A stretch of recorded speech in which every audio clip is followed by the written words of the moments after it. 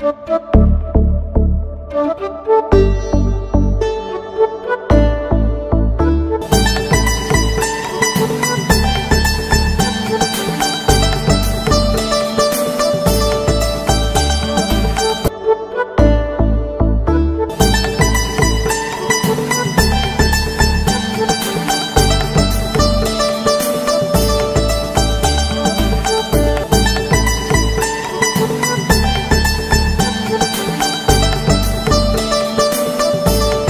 நான் என் பேர் கார்த்திக்.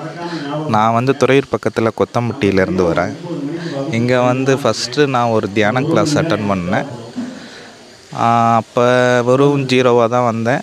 அதுக்கு முன்னால் ஏகப்பட்ட டிப்ரெஷனில் ஹாஸ்பிட்டல் இதெல்லாம் போய்கிட்டு வந்துக்கிட்டு இருந்தேன். இங்கே வந்ததுக்கப்புறம் ஒரு புரிதல் வந்தது.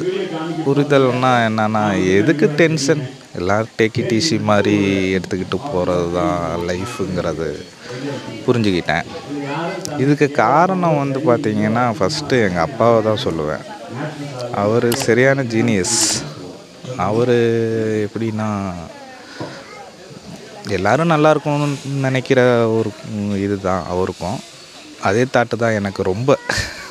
உலக லெவலில் எல்லாரும் நல்லா இருக்கணும்னு நினைக்கிற ஆள். அந்த தாட்லேயே இங்கே வந்து பார்க்கப்ப இவங்களும் அதை தான் சொல்கிறாங்க உலக லெவலில் எல்லாரும் நல்லா இருக்கணும் போட்டி பொறாமல் அவங்கவுங்க என்ன எது எதுக்கு வந்திருக்கோம்? இங்கே வந்து நம்ம எதுக்காக நம்ம வந்திருக்கோம்? நம்ம இந்த பிறவி எதுக்காக எடுத்திருக்கோம்? அதை என்ஜாய் பண்ணுங்கள் அதை விட்டுட்டு தேவையில்லாமல் இவங்க அப்படி இருக்காங்க அவங்க அப்படி இருக்காங்க. அப்படின்லாம் நினைக்கிறத விட்டுட்டு நீங்கள் எப்படி இருக்கீங்க?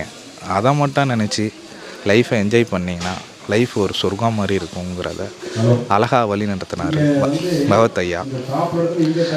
இங்கே வந்தோன்னே சொல்கிறாங்க இது ஒரு குடும்பம் அப்படின்ட்டு. அந்த குடும்பத்தை நான் அழகாக பார்க்குறேன் பகவத் ஐயாவே எங்கள் அப்பாவாக தான் பார்க்குறேன் அந்த அளவுக்கு அவர் பெரிய மெச்சூரிட்டி பர்சன் யார் ஒருவங்க அடுத்தவங்க நல்லா இருக்கும்னு நினைக்கிறாங்களோ அவங்க பெரிய காட் மாதிரி தான் இன்னும் இங்கே ஒரு புரிதல் நான் எனக்கு புரிந்தது. நல்ல இயற்கை வளம் நல்ல ஃபுட்டு அதே மாதிரி பகவத் ஐயாவுக்கு ரெண்டு பேர் ரெண்டு கண்ணு மாதிரி கிடச்சிருக்காங்க. சரவண ஐயா சரவண ஐயான்னு இல்லை அண்ணன் ஜெய்மணி அண்ணா. இவங்களும் நல்ல லெவலில் இதை நடத்துகிறாங்க இது வந்து இது மட்டும் இப்போதைக்கு சின்னதாக நடந்துக்கிட்டு இருக்கு கேகேல இருக்குது யூடியூப்பில் இது மில்லியன் மில்லியன் பில்லியன் அந்த அளவுக்கு போக என்னோடய வாழ்த்துக்கள். கண்டிப்பாக ஆகுங்கிறது என்னோடய நம்பிக்கை. Okay thank you